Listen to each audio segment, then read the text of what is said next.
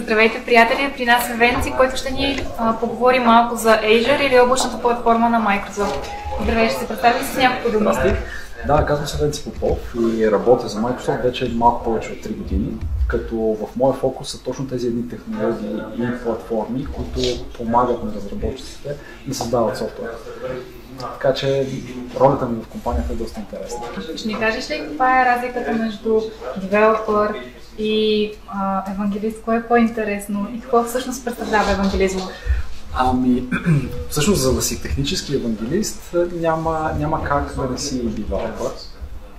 Така че до някъде аз усъвместявам и двете. По същество, което е интересно и за момента, бидейки евангелист, бих смел да се че евангелизма, най-малкото защото ми дава възможност да общувам с много нови хора и да им разказвам и ентусиазирам по отношение на тези нови технологии, които могат да им бъдат полезни в работното ежедневие. Така че моето практическо, моята практика всъщност намира едно допълнение посредством евангелизма, което надгражда девелопмента. Да те попитам за Microsoft сертификатите и всъщност ценят ли се от индустрията и студентите трябва, трябва ли да се стремят към тях? А, да, ценят се, макар, макар винаги да е съществувало спора дали само покриването на теоретичните знания е достатъчен.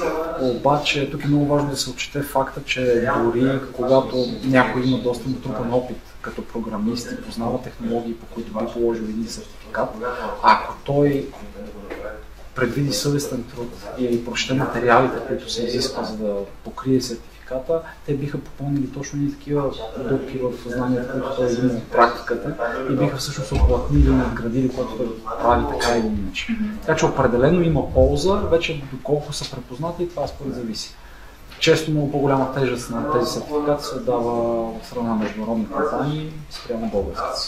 Ти си спикър на доста конференции по света. Ще ни кажеш нещо интересно в някоя твоя презентация? А, нещо интересно. Нещо интересно, което е свързано с до някъде с дейността на софтуерния университет е последните ми така, лекции, които водих извън България, бяха в Африка, лятото. И защо казвам, че е свързано с софтуерния университет? Защото там се озовах в ситуация, в която две седмици трябваше да преподавам а, как се разработват Windows Store апликации, Windows Phone апликации, но аудиторията, която беше на място, не беше подготвена за този тип знания. В началото трябваше да разкажа за беконтентивно програмиране, тогава много бяха полезни публичните ресурси на Наков. Днес ще говориш за Azure. Ще те видим на Azure Bootcamp в България? А, да, но за съжаление само като организатор, тъй като логистиката, която е свързана в, за да осъществим това събитие е доста голяма. И нямаше възможност да подготвя лекция и за това. Добре, много ти благодаря за интервюто. Благодаря. А, чао от нас и тези, които нямат възможност да дойдат, ще гледат лекцията по-късно.